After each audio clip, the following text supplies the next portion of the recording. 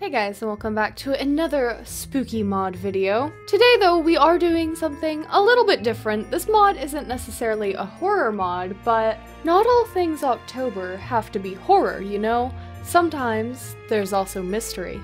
And so today we are going to be playing the mod It Beats for Her, which is a short little mystery quest. It looked generally spooky. I thought it'd fit the vibe. I want to try it out. And I'm so happy because we have my favorite cozy sweater. We have my favorite spooky cup. I'm just very happy to be here today. So all we should have to do to start this mod is head on to Falkreath and wait for a courier. So let's go ahead and get into it. Man, I'm really appreciating the uh, reflection of my lights in the window over there. Looks like spooky eyes. Mm. It's just fitting the vibes, you know?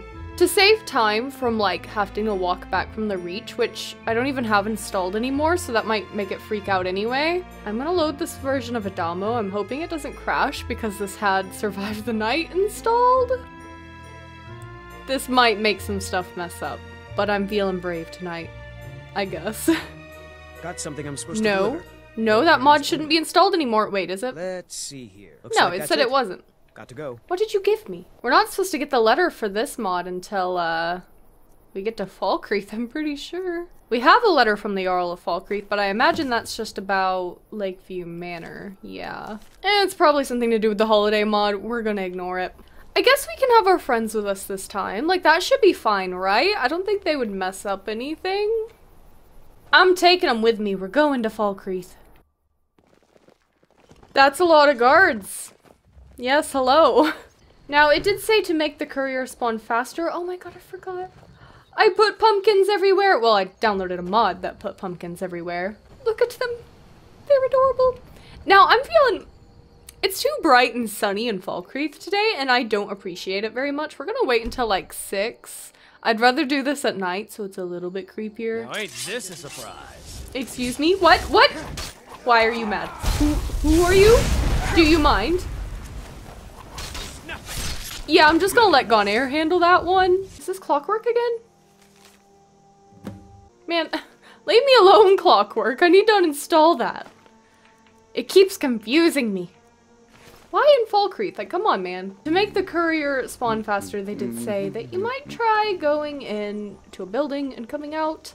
And hopefully that should do it. So we'll just take a quick stop in the inn, I think. Oh my god! Mages and burial crypt. Okay, this will make one will know absolutely no sense to anyone but me and Ryder, and maybe some people in my Discord.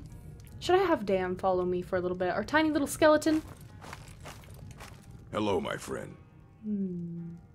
It is spooky time. We might as well have a skeleton friend. This is Ryder's Necromancer's little skeleton butler. And I think today Lead he's them. going to be Adamo's Grab butler. steel. Why not? this is stupid. Okay, well, we got three little idiots following us now. It'll be exciting and fun. Hopefully the courier will appear now, though. Come on. Come on. Come on. Yes, okay, there he is. I saw him looking for you. phase into existence. Got something I'm. Looks like that's it. Got to go. All right, here we go. Seems like everything is working. So look at the note from the unknown man and look at the torn journal. So we got two things. Let's start with the note from unknown man first. I do not know who I can trust, so I am forced to trust a stranger. You. I am hunting down a monster that threatens every innocent soul, including the love of my life. I have followed him to Falkreath, to a house that sits opposite of the watermill. The key that I have included will get you in. If I prove unable to defeat this monster, the task falls to you. Well, okay. I mean, I guess asking the Dragonborn probably isn't that out of the ordinary, but still, a little bit weird. So, a house that sits opposite of the watermill. Okay. I do believe this quest said something about there are no quest markers. There might be a few, but it is like a little mystery puzzle sort of thing. So hopefully I'll do fine. Um, I feel like a lot of times whenever I'm recording, I'm always like a little bit nervous, you know? And whenever I'm nervous, I forget things. I know I've been doing YouTube for a long time, but it's stupid. I make a lot of dumb mistakes and get mad at myself whenever I'm editing. What can you do? It's part of the humor. Hopefully everything goes smoothly. Entry number one, Falkreath. Not my favorite village, by any means. It's all a bit too dull for me. Leave it up to Falkreath to be surrounded by so much green and still be gray. I like it. Walking through the uninspiring streets, I half expected to be swallowed up in its anon- anonym- anonymity. I can't say that word. I know what it means. I just can't say it. Anonymity. Never to be heard from again. What a nightmare. Of course, one man's nightmare is another man's last refuge. The High Elf is here. I'm sure of it. Entry number two. As I chase the monster to Falkreath, it's almost like I've been here before. I know the streets. I know the houses. I know where he might hide. Perhaps these towns are not as unique as they would like to be. Perhaps I just know my target too well now. Where my resolve falters, thoughts of my love keep me going.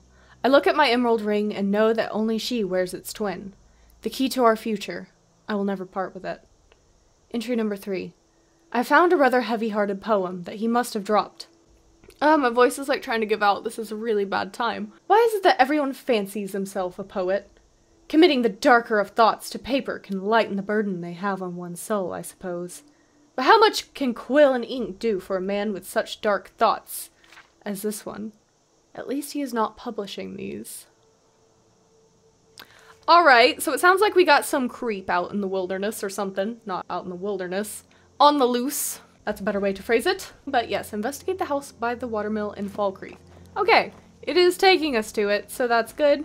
No, I was like, this is not correct. It is not pointing us to it. Do you mind? You are sniffing so loud, Teldryn. He's using his whole mouth to do it. Watermill, watermill. Is that over here? Think so.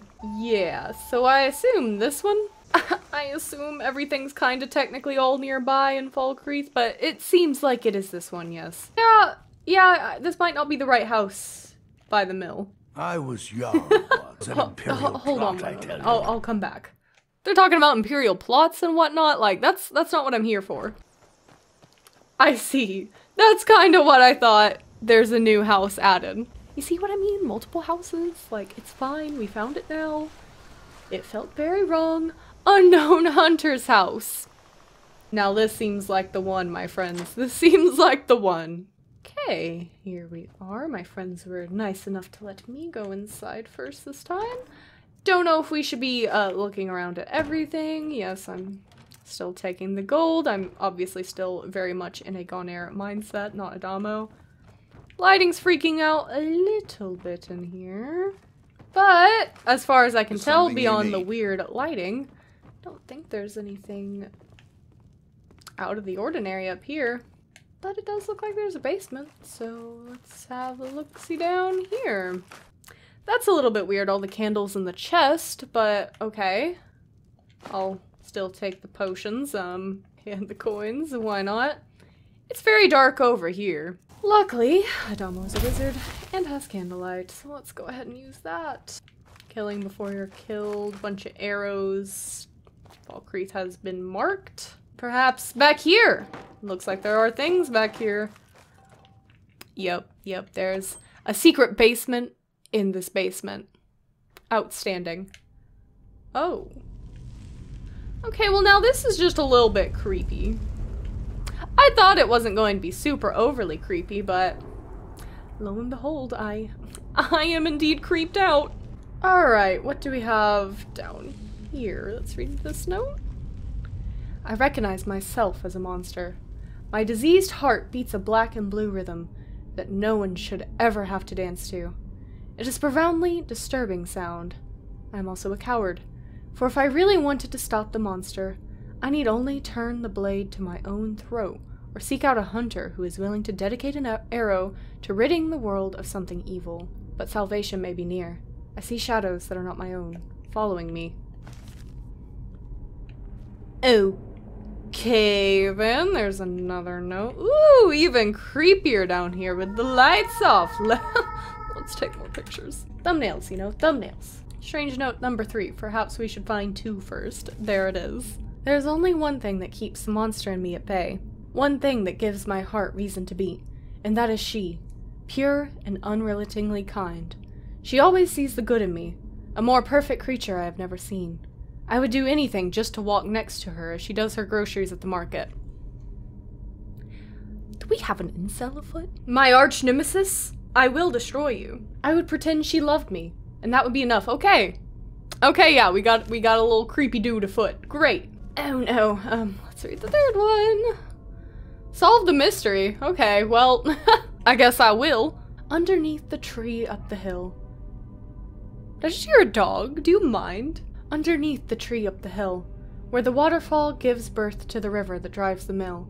She is there at midday, always. She says she likes the view and the quiet. I will bare my soul to her there.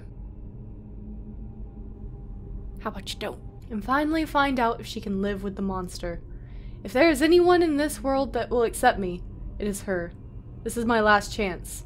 Redemption or damnation? She decides. Well, I guess that's where we're starting then. The waterfall gives birth to the river that drives the mill. That sounds simple. Okay then, I don't like all these embalming tools around. Hmm. Weird, weird, that requires a key. The door is locked. Instead of a lock or handle, you see an indentation in the shape of a hand. There appears to be a ring around one of the fingers. Did I hear something else? Was that just one of my friends? I don't think they're down here. I swear I heard someone like laugh or breathe or something. I should probably turn my sound up. Y'all y'all are really just gonna sit there and stare at each other? They're just talking about the mystery, you know. I have no idea where Dan went though. Here's little feet somewhere underneath the tree up the hill. Okay, so it should be this way. We're gonna put on candlelight again. Because I feel like we're actually going to need to be able to see to solve this mystery. Or not. Thanks, Skyrim. Now I gotta wait for it to come back up, and it's gonna take 30 years. They're like people talking outside or something. I shall glare down and judge them. But I don't think this new mic picks that up. I hope at least. It doesn't seem to, not yet at least. Haven't tested it with the neighbor man. He hasn't been annoying while I've been recording, so that's good. But hopefully it won't pick up the music as much either, so that'd be good. Okay, let's try that again, please. How about we don't crash this time? Hmm? Okay, good. It usually likes to crash um, a second time whenever I try to reload, and then it'll actually let me. Seems like it's fine this time. Now, it's just said a tree, right? Nothing else about the tree. There's a lot of trees up here. Because, like, this is technically a waterfall. Honestly, it's just too dark to see, isn't it? Okay, what we're going to do, I think, is we're going to wait until the morning, but I think I can force it to storm. That's creepy, right? We'll just solve the mystery in a storm. Hopefully not get electrocuted by lightning or something. Unless... No, it's not nice and foggy out. How disappointing. Okay, hold on. I'll force the storm real quick. Do it. I think that's the right one. I don't know. Let's see. Oh, see, that's nice. That's what I like. Okay, let's have another look around then. Oh, you know, probably that waterfall. Okay, you're not gonna stick around? I guess this is fine also, too. Like, I just want it to be kind of dark and foggy. That's all I want. Don't you get brighter. Yeah, there's a lot of trees here. This seems like a nice place to stand, don't you think? Or a nice place to die. Looks like, uh, everything went great. Hmm. A beautiful emerald ring that appears to be part of a twin set, found on the body of a dead woman in Falkreath. Well, that should open the basement door, right? You know, that's about right. He seemed the type of guy to do that, huh? Creepy little sort. Let's go look in his basement. I assume this should open it anyway. It said something about the ring, and he said this was the only other one, so let's try it. Door is locked. Instead of a locker handle, you can see an indentation in the shape of a hand. There appears to be a ring around one of the fingers. Do I need to, like, equip the ring? Let's put that on. You press your hand with the twin emerald ring on it into the indentation. You hear a soft click as the door unlocks. Okay. There we go. There's another note. Uh, loose journal, page two. Thus far, nobody has responded to my wanted poster. Is there no one who spotted a high elf with a beard and a ponytail? It seems like a difficult thing to miss, but maybe people are too frightened to speak up.